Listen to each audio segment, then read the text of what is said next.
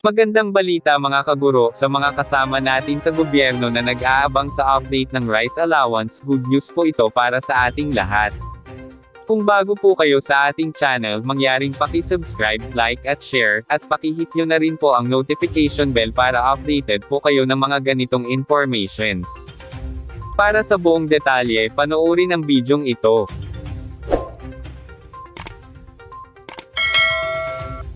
Update sa pagpapalabas ng rice allowance para sa mga guro 2022. Na-update noong ika-23 ng Pebrero taong 2023.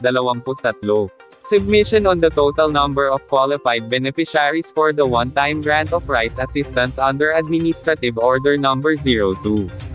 Alinsunod sa Administrative Order or AO Number 02 na may petsang December 16, 2022 na inisyo ng Office of the President na nag-authorize sa isang beses na grant of rice assistance sa lahat ng government employees at workers para sa fiscal year 2022 kung saan n 25 kilong dami ng bigas ay pare-parehong ipamamahagi sa lahat ng kawani ng gobyerno, o sa lahat ng national government services bilang contract of services or job orders sa ilalim ng COA-DBM Joint Circular No. 2 na may petsang ika-20 ng Oktubre taong 2022 bilang isang beses na tulong sa pagkilala sa napakahalagang kontribusyon ng lahat ng manggagawa ng gobyerno sa mahusay at aktibong paghahatid ng mga serbisyo sa publiko upang matukoy ang alokasyon ng mga kagamitan sa bigas para sa lahat ng opisyal at empleyado ng DepEd, lahat ng regional offices ay kinakailangang magsumite ng electronic copy sa MS Excel format ang kabuoang bilang ng mga kwalipikadong benepisyaryo sa kanilang nasasakupan sa Bureau of Human Resources and Organizational Development Division ng Tauhan BHRODPD,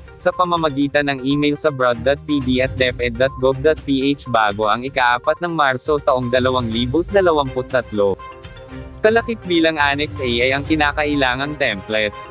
Higit pa rito, mangyaring magabayan sa mga kondisyon na itinakda sa ilalim ng Seksyon 2 at 3 ng nasabing kautosan na nagsasaad na ang mga may karapatan na benepisyaryo ay dapat nasa aktibong serbisyo ng gobyerno, bahagi sa paglilingkod ng gobyerno simula ika-20 ng Nobyembre taong 2022.